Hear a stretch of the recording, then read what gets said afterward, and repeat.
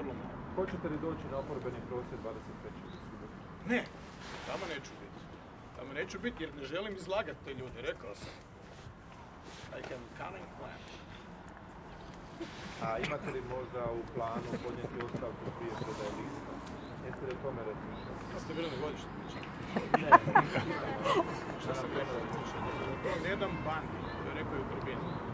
On je rekao da će reći svih svojih 130 kg. Izdržao bi to, ali sposobno sam. Dakle, ne dolazi u obzir, naprosto. Ko će, ko će doći na moje mjesto? Kog će to dopasti? Ko će prispjeti što u Dalmaciji? Ko je prispio? Jandroković. I onda ostavku isti čas. Nije lud. Kada će kandidat tu negdje i čovjek, šta će biti predsjednik na jedan dan? Mislim, dakle, želi u Sabor i dalje.